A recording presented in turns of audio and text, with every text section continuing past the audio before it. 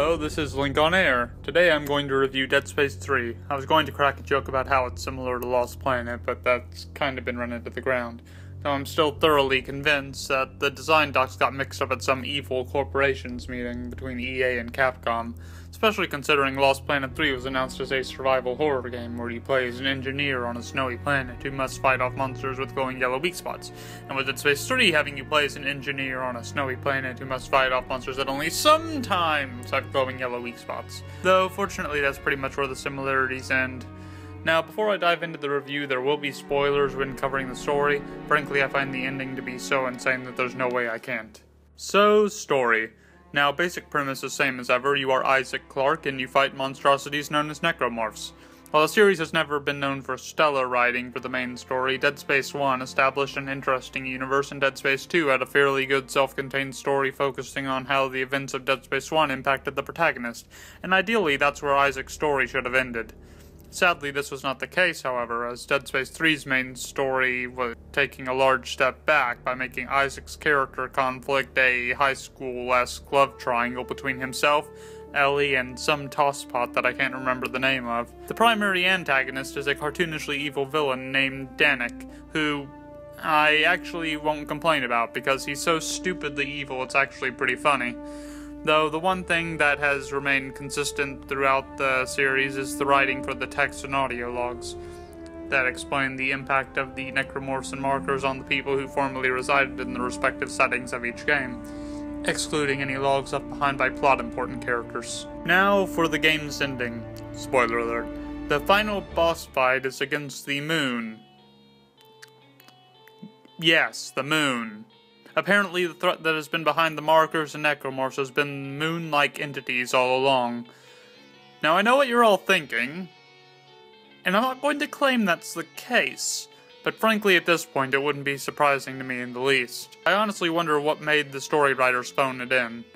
Though, admittedly, the story is still somehow compelling enough to keep you playing, particularly Isaac's interactions with John Carver, the co op character, which I'd like to say makes the co op worth playing within itself. That being said, it's time to move on to the gameplay. Overall, the gameplay is pretty much the same as the previous entries, but with the addition of a dodge roll and cover based combat. Two things that don't really fit in a survival horror game. Though I suppose at this point it's more action horror, isn't it? To add to the new emphasis on action, they have also introduced customizable weapons and universal ammo. The customizable weapons in the game are fantastic, with seemingly limitless combos, each of which packing the punch you'd expect from a Dead Space weapon. My favorite weapon creation was the Rivet machine gun with the line gun underbarrel and stasis coating, though it was stupidly overpowered. And as much as I dislike the inclusion of universal ammo in any game, I can't really argue it with weapon options as vast as these, of which I am sure caused this design decision. As much as these options distract from the horror, what little horror was left, it has made for some of the most fun gameplay I've had with a shooter in years. The co-op is also competently executed. During my playthrough, the frame rate remained consistent and the experience itself was even more enjoyable than the single player. The co-op also has its own exclusive missions that let you delve a bit more into the character of John Carver, which, if you're playing as him, you and your partner will both be seeing different things during the missions. For an early example, while playing as Carver, I came across a toy soldier, but my co-op partner couldn't see it on his end. I think it would be interesting if the rest of the series had played off of the psychological end of things like they did with Carver. And no, the Nicole hallucinations in Dead Space 2 don't count.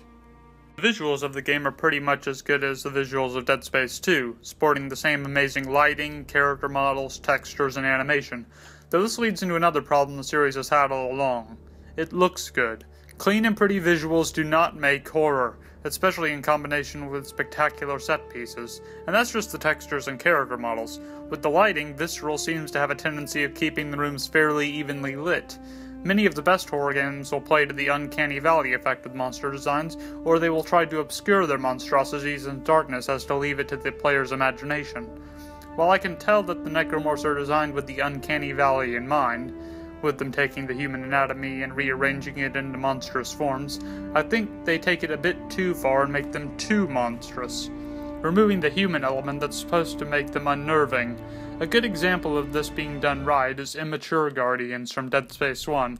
While they are very minimal threats, they are still clearly human in appearance, and seem to express some degree of their humanity is still intact, which leaves the player in a position in which they don't want to kill them because of their pitiful state, but at the same time they might feel the need to put them out of their misery, creating a state of cognitive dissonance within the player.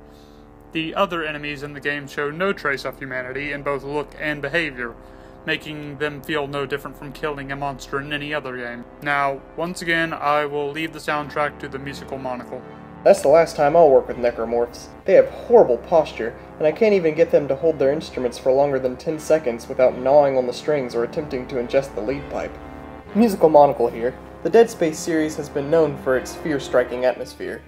The psychological thrill of not knowing what's around the corner, but just knowing that it won't be good, has been a major aspect of the Dead Space experience. The atmosphere is usually highlighted by the use of sound, be it a deep dark underbelly of a string section churning out unpredictable rhythmic syncopations, or a distant shrill overtone leaving you on edge as if you had a needle bearing into the back of your head.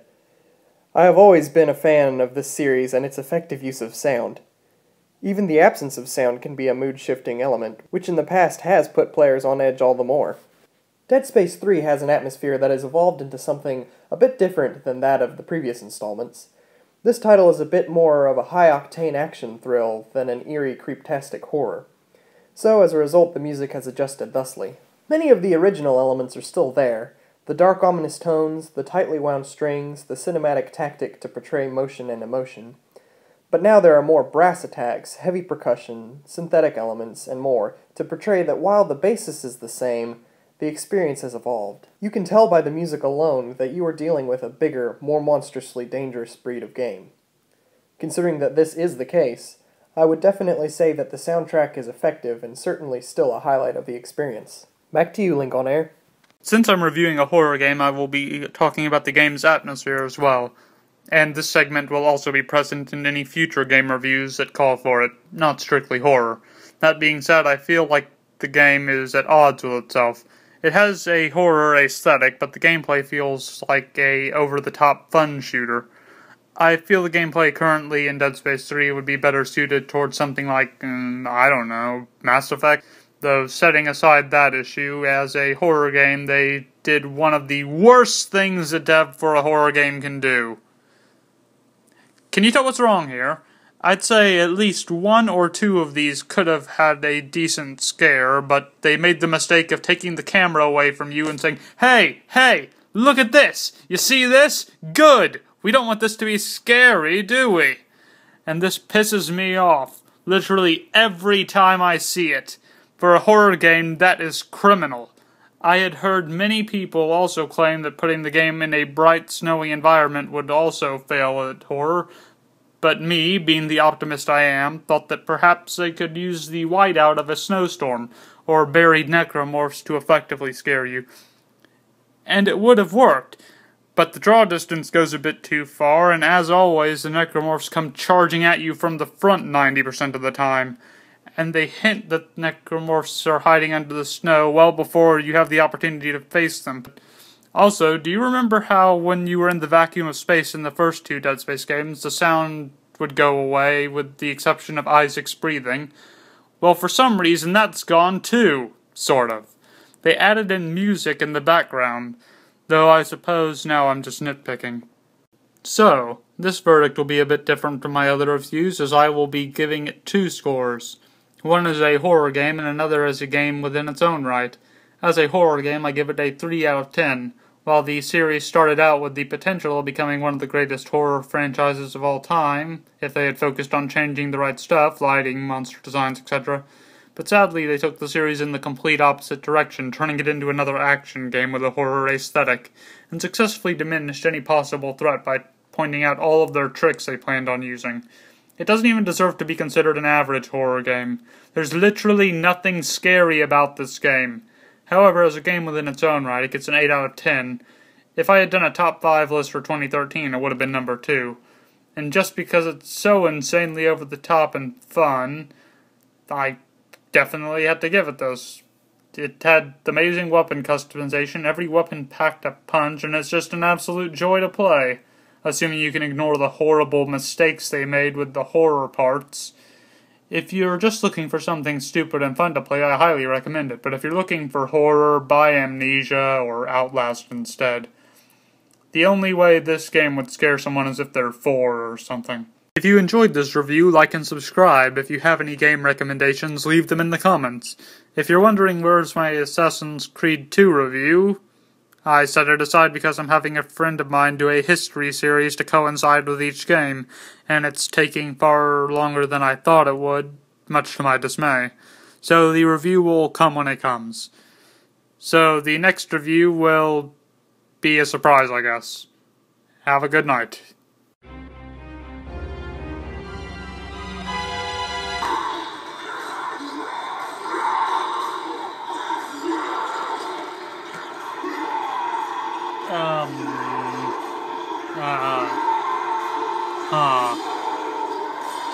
Did, his AI glitch out or something? Because he just keeps jumping back and forth like that.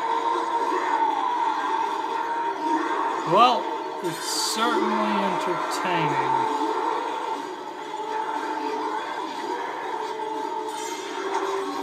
Oh, piss!